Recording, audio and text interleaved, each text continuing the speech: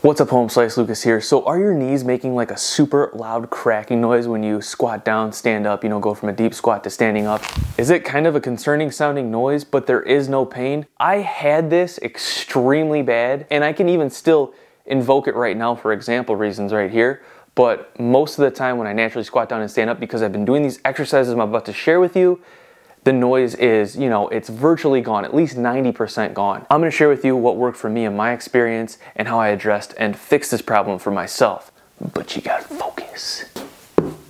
So in most cases, and in my case, what's happening is we have the patella here. So the patella is that thing where you, you know, if you relax, you can move it around just like this. The patella, when you extend and flex the knee, well, it moves along this cartilage that's on your femur, your, your big leg bone up here. Now what happens is there are a lot of muscles that connect to the patella. Some of those muscles can get way tighter than they should be, and some of those muscles can get way looser than they should be. So in my case, I used to do a lot of flares. That's essentially this gymnastics acrobatic-like movement. It's actually a b-boy power move but what it did is it demanded me to throw my leg up to the side a lot, tightening these muscles on the outside, these abductors. And by doing that, these muscles on the inside right here always got stretched out. They got really flexible, but also kind of weak. So I had really tight, strong muscles on the outside here, very weak, loose muscles on the inside here. And well, that just pulled my patella to the side here, took it out of that natural track that it should be going through, and caused that crunching, cracking noise every time I squatted down and stood up. Now in my cases and in many cases there is no pain and that's great. It's not too concerning when there isn't any pain, but over time when the patella isn't supposed to be where it is,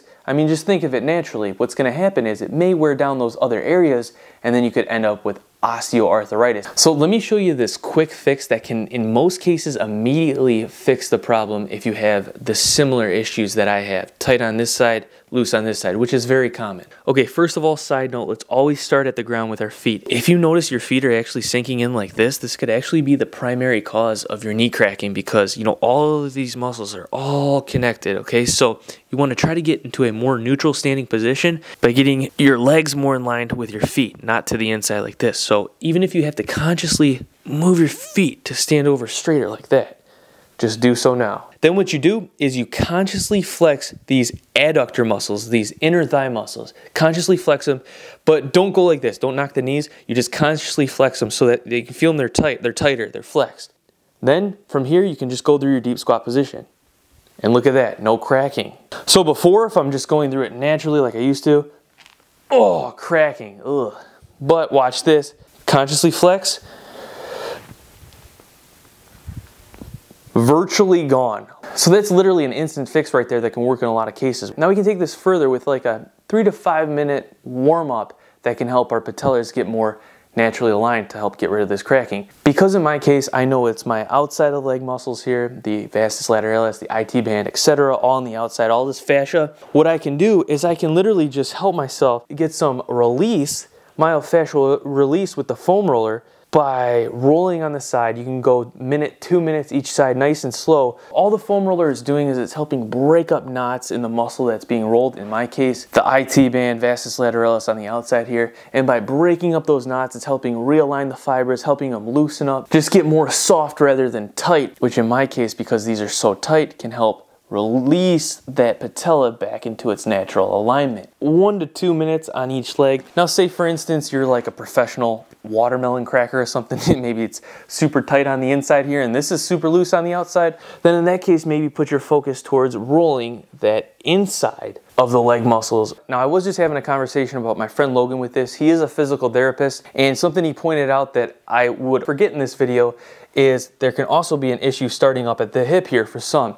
For me, this wasn't the case, but I'm gonna share it with you just in case this is your problem. So a way to address this problem to figure out if this is one of the reasons for your knee cracking is very simple. All you gotta do is if you stand up on one leg, I'm taking one leg off the floor, if you just naturally wanna sag to the side like this, if your hip wants to pop out to the side, that could indicate you have a weak gluteus medius, or even just weak glutes in general. Because ideally, naturally, if I just went to stand on one leg, I would wanna be up straight like this, okay?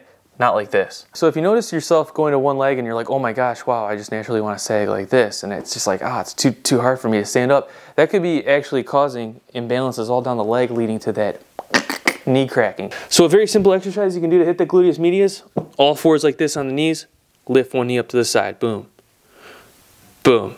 You can go 10 to 20 reps, three sets, Awesome. Other than that, try to figure out by your movement patterns how you're standing, assessing yourself, what is loose, what is weak, what is tight, what is way too strong, and try to balance things out. So ideally the knee is gonna go from being off track to back on track through that smooth cartilage, getting rid of most of the cracking and popping. Now, as always, listen to your doctor or physical therapist. This is just what worked for me in my case, but from what I've heard, this is a very common problem is having tight on one side and loose on the other. So if it is a simple fix for you, figuring that out, then that is awesome. Also remember that this instance is with no pain. I have no pain even though I have all this cracking noise going on. So if you're having cracking noise going on with severe pain, that might be a deeper problem, so you might wanna go get that checked out. And if you guys are interested at getting strong with your body weight, check out my 12 week calisthenics program, Bodyweight Beast 2.0 on onlykindsfitness.com. Get stronger, faster, better with your body weight. Get in shape over this summer. It's a 12 week program. Tons of great feedback on this. Hard copies available. If you don't want a hard copy, you can just get a digital download. If you do get a hard copy, you will get a complimentary digital download. We are shipping these things worldwide, and I just want to thank you all so much for all your positive feedback and support. Don't forget to subscribe, stay tuned, turn those notifications on. I hope you all have a great day. Peace. I will see you all in the next video.